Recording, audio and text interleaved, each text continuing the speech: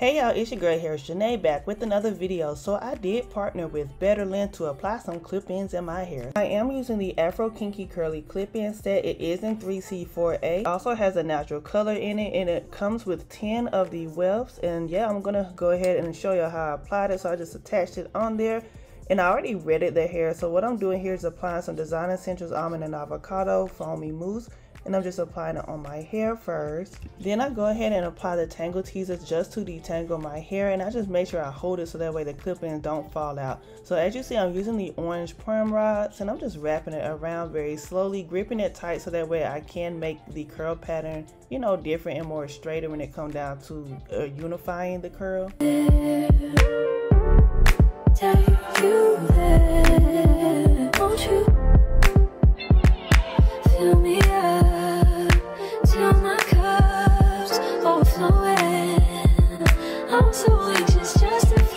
Repeat the same process until like it's like at least almost full on my head. So again i'm repeating with the tangle teezer i do follow up with a Denman brush so that way i can also smooth out my curls as well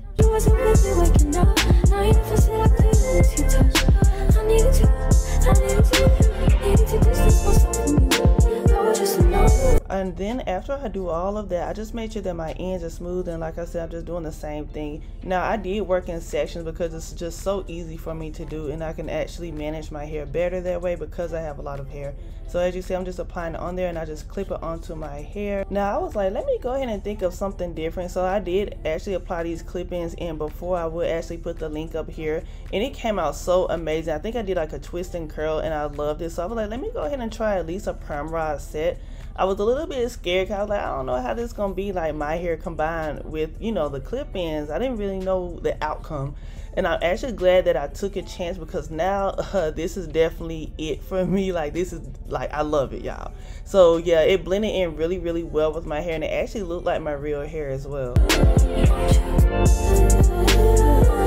As you see, when I place the clip-ins, I don't put it like all the way to my front. I kind of like move it back so that way I can leave room and also it can't be easily detected if you put it at the edge. So, you know, if you want your hair to blend in really well, I suggest, you know, move it back a little so you won't see the weft if you try to put it in a ponytail or whatever. So this is the part where I got frustrated, y'all. Yeah, you see that. I hate when that happened. Like, I had to start all over again. So, like, let me go ahead and do it. And so yeah, you really have to be strategic. But anyway, so I'm doing the front part right here. So this part right here does not have the uh, wefts in, the clip in. So yeah, so this is how it looks. So I did actually sleep in these overnight, but I also sat on my hooded dryer for about an hour and a half. And yeah, the results is amazing as you see. As I unwind them curls, I'm like, okay. So yeah, like I said, I was like, oh, I didn't know how this is gonna turn out, but I'm so glad. I'm like, yeah, I took a chance, y'all. I was like, this is gonna work, and it actually did. So I'm very excited. Fill me up till my cup's. I'm so anxious just to feel the silence. It's so quiet.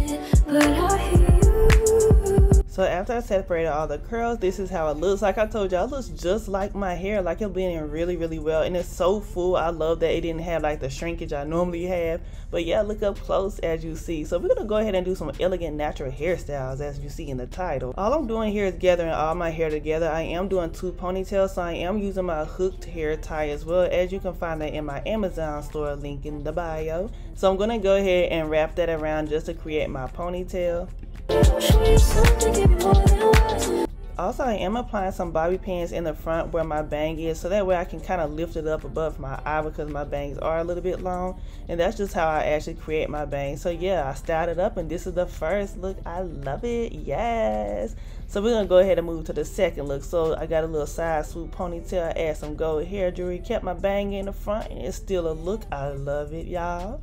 And now we're gonna go ahead and move on to the third loop. So I applied my, you know, my hook tie again. I wrapped it around. So what we're doing is creating a high updo with the bang in the front.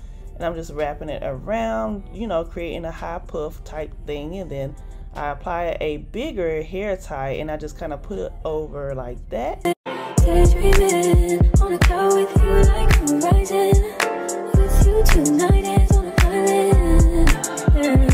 Is the final look. I added some gold hair accessory. I am so in love with all the hairstyles. Give a thumbs up if you like it as well. Check out my description box as I will have the link to the clip-ins that I actually got. And thank you for watching. Bye.